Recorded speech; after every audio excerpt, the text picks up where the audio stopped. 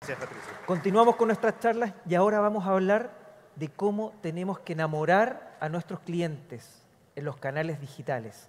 Siempre pasa que muchas veces lo utilizamos, lo utilizamos una vez y nos vamos y no regresamos más. La receta del éxito, ¿cuál es?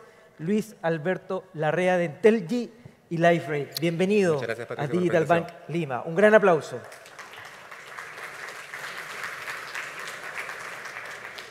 Bueno, muchas gracias Patricio por la presentación. Gracias a Digital Bank por esta oportunidad. Estamos muy contentos de estar acá.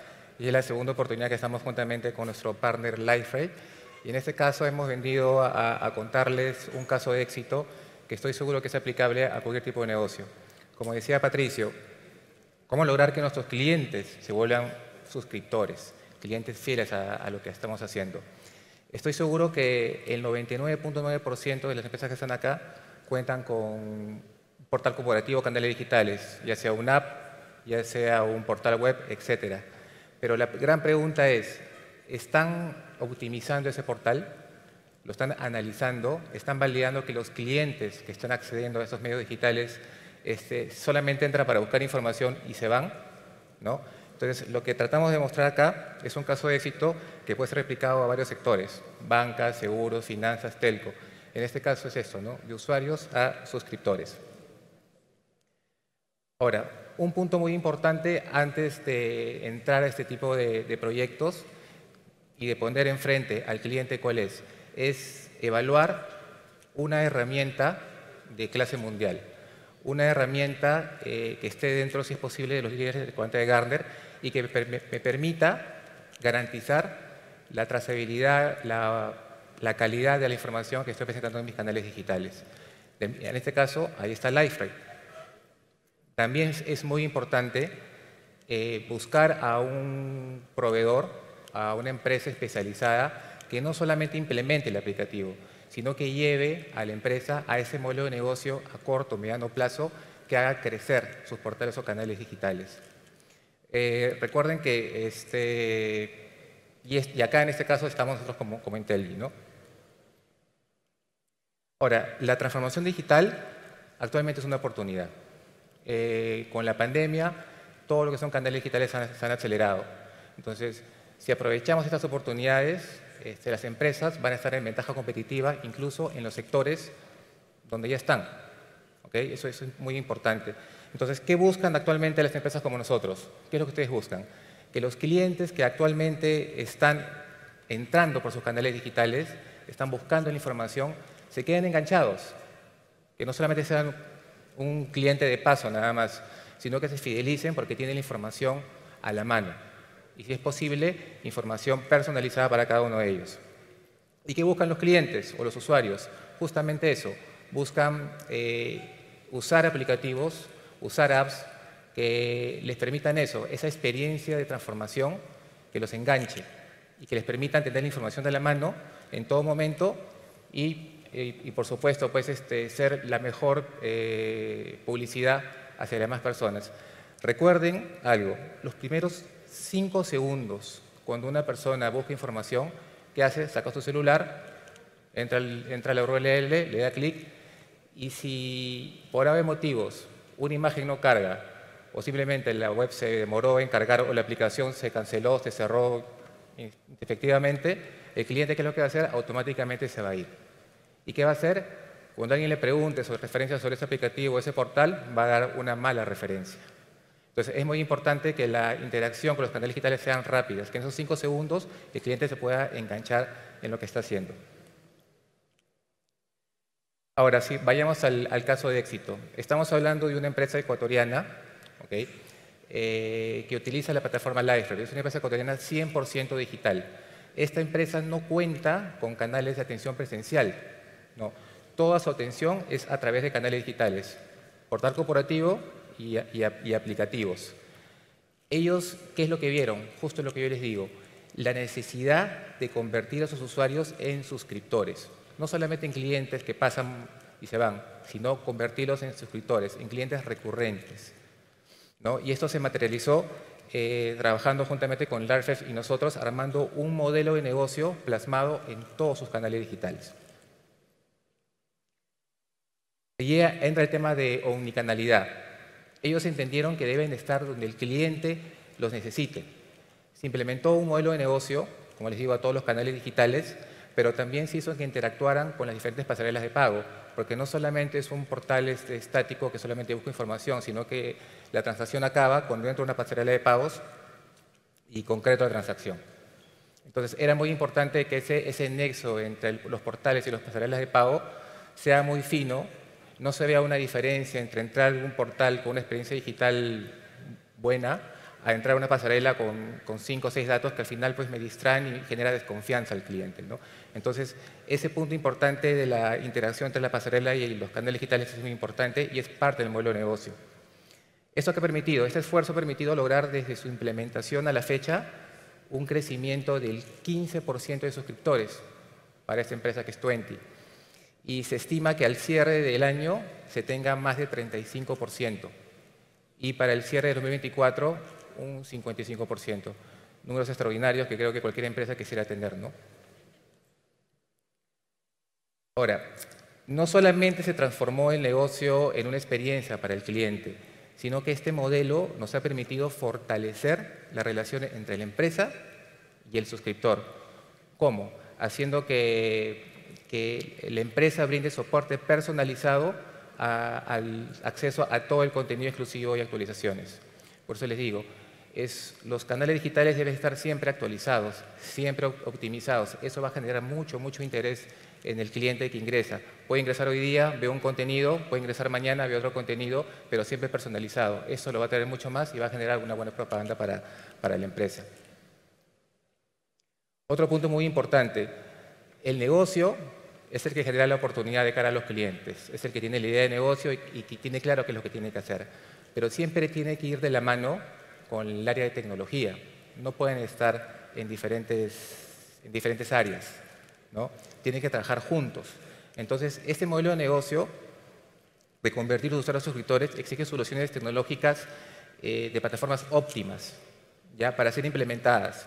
Y para esto, la tecnología donde se implementa debe ser una tecnología que no solamente genere una experiencia, flexibilidad, escalabilidad y agilidad, sino que sean canales digitales seguros.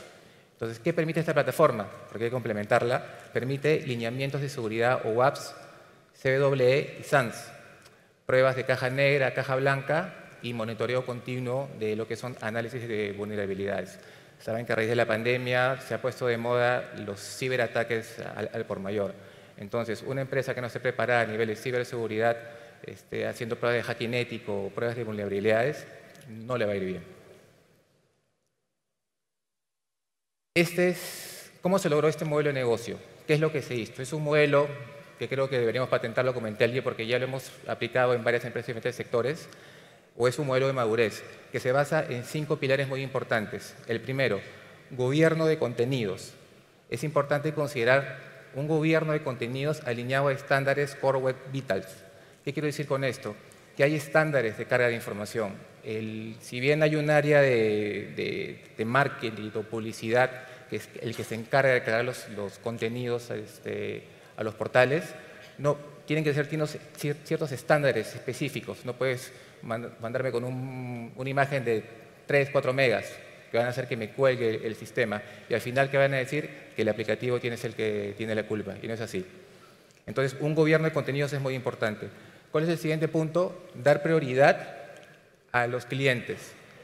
La convertibilidad, o sea, llegar a que los usuarios se convierten en suscriptores, busca entender las necesidades de los clientes a través de sus canales digitales. ¿Qué quiero decir con esto? A través del análisis de datos, nosotros podemos darnos cuenta de cuál es el canal de comunicación eh, o el canal digital que tiene mucho más fuerza.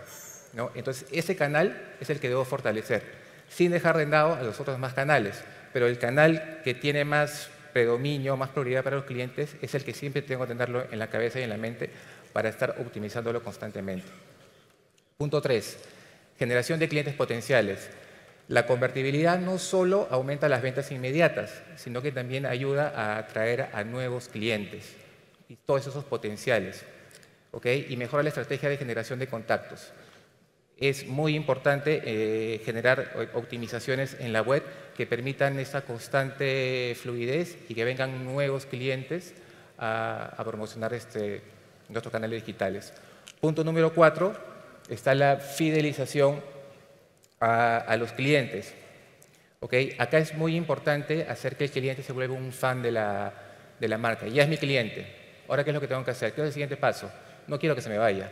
Tengo que hacer ofertas personalizadas, tengo que hacer análisis de datos para que el cliente se sienta identificado con mi marca, que me genere una publicidad adecuada, fidelizarlo. ¿Okay? Y el siguiente punto es rentabilizar la inversión del negocio. A veces se piensa mucho que tengo que gastar mucho en publicidad para que mis canales digitales fluyan o despeguen. No es necesario. Si tengo una web optimizada en el contenido, genero ofertas personalizadas, mi foco central de atención, ¿quiénes deben ser? Deben ser mis clientes actuales, porque ellos, de forma gratuita, van a generar de boca en boca una excelente publicidad para eh, mis portales o para, mis aplicativos. Y esto de alguna manera pues, va, a generar, va a generar una mejor cartera de clientes este, y se va a incurrir en mayores ingresos reduciendo los, los gastos. Esta pirámide es muy, es muy, importante, si quieren podemos entrar en más detalle en, eh, después de la presentación, ahí nos van a buscar. Punto importante, ¿qué necesito? ¿Qué necesito para lograr esta convertibilidad. Necesito una herramienta que me permita lograr estos casos de éxito con confianza. ahí es donde entra LifeRed. LifeRed hace muchos años entró como el mejor gestor de contenidos. Ahora, LifeRed ha entendido la necesidad de los usuarios y se ha convertido en un gestor de experiencia digital. El usuario desde que entra se engancha el aplicativo y tiene todas las funcionalidades necesarias para poder lograr esto. LifeRed eh, es una herramienta que te vende el paquete completo, no te vende paquetes por módulos ni nada por el estilo, sino que el usuario va usando eh, las funcionalidades que a medida de su crecimiento las requiera. Este, ¿Qué puedes lograr con LifeRed? Portales de clientes, puedes crear websites, intranets, portales de proveedores, plataformas de integración, portales de autoservicio y todo lo que es la parte de e-commerce. Y por experiencia se los digo, este, es una herramienta que es muy fácil de, muy fácil de implementar, este, pero también este, es muy fácil de usar. Desde el primer uso, el usuario, sin ser técnico, puede interactuar muy fácilmente con la herramienta y generar un contenido, incluso crear en, creo que en 10 minutos, un pequeño portal o un intranet. Ahora, Ahora nos toca hablar de, de ¿no? de los implementadores. Eh, nosotros somos una consultora española con casa matriz en, Madrid. Estamos en, Latinoamérica, estamos en, Chile, estamos en Colombia, en Brasil, en Argentina, Estados Unidos, eh, Colombia y Perú. ¿okay? Actualmente ya en Perú ya tenemos nueve años trabajando este, con varios clientes del sector bancario, del sector seguros. Eh, tenemos mucha especialización en estos temas. Eh, trabajamos también con tres grandes grupos económicos actualmente y somos expertos en, en ciberseguridad. Son pocas las empresas o consultores de tecnología que a la mano tienen un área de ciberseguridad especializada, porque esto ayuda pues, a crear código seguro, definitivamente. ¿no? Y, que y que nos respalda que tenemos tres CyberSOCs a nivel, eh, a nivel este, global y uno este, muy pronto acá en Perú. ¿Y cuáles son los servicios que ofrecemos como, como eh, somos una empresa que integra personas, procesos y tecnologías. Y dentro de nuestro ecosistema podemos facilitar experiencias en fábrica de software, integración de sistemas, ciberseguridad, eh, generación de proyectos, temas de consultoría, de soporte, entrenamientos. Capacitamos siempre a nuestros consultores para que lleguen ya capacitados a, dar el, el servicio a las empresas y especialistas en temas de lo que es diseño UX y UI. Bueno, eso es todo. Les agradezco a todos por su tiempo. Muchas gracias.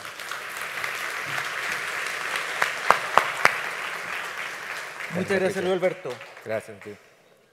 ¿Todo bien? Todo perfecto. ¿Dónde está el stand de Intelli y LifeRay? Que veo a Catherine, que acaba de llegar por ahí. Salimos a la izquierda, pegado a esta pared para que veamos casos de éxito, para que veamos realmente cómo tenemos que enamorar a nuestros clientes. Y explicar ese modelo de negocio que es interesante, que puede interactuar con cualquier este tipo de, empresa sin importar el sector, ¿no?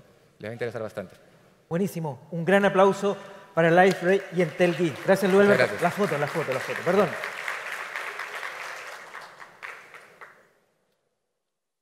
Buenísimo. Gracias, Gracias Luis Alberto.